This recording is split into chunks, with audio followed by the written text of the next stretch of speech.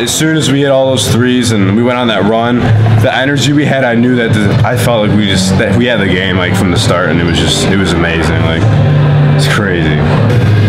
just like prepared for anything and we were ready. I thought so. We talked about, I mean, all day yesterday and today we were just talking about coming out with a lot of energy.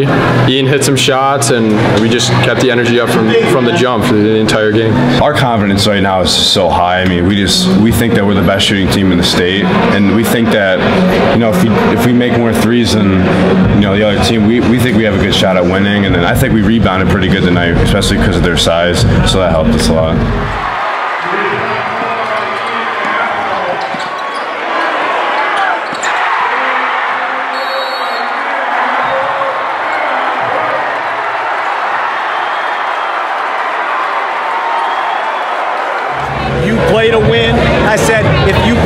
Shot, your butt's coming out. Do not pass up a shot because we are playing to win.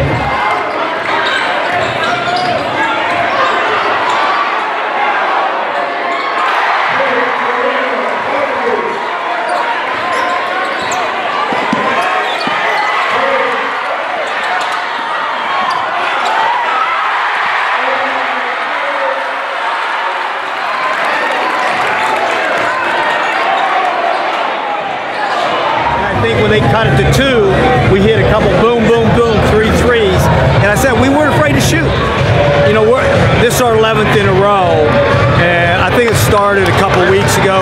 We're in February because we didn't lose in February. I just think the leadership, Collins and Ferrito did a phenomenal job. I, I, you know, we played harder, but I think we played really, really smart. We were so respectful of Brush's bigs. And we had a quick turnaround from Thursday, and we said, unless you are wide open, you kick it out, we're going to take our chances. You know, I think we got a great shooting team. I think one of the best. And I thought they made great decisions early about finding the open guy. I think that was a huge key. And I said, we, we had to knock down some shots, but I think we had three turnovers at the half. Um, we got great high percentage shots when we we saw the lane, and, and it gave us confidence really early.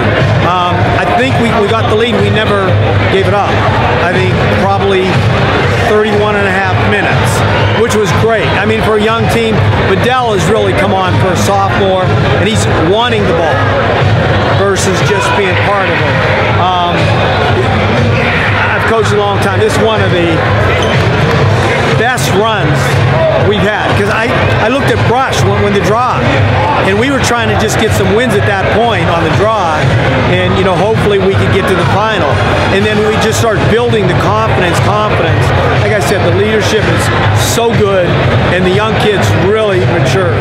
Point we were nine and six, and we were you know kind of like in a tough situation, and then we just kind of like came together, played harder, practiced harder, just bonded more as a team, and then it's then we went on a huge winning streak, and it's showing like that we're playing so much better. It's, it's amazing. We just couldn't accept that we were nine and six. We didn't. We expected more out of ourselves, and we just we didn't want to end up that team that was you know around 500, not very good. We wanted to be better than that.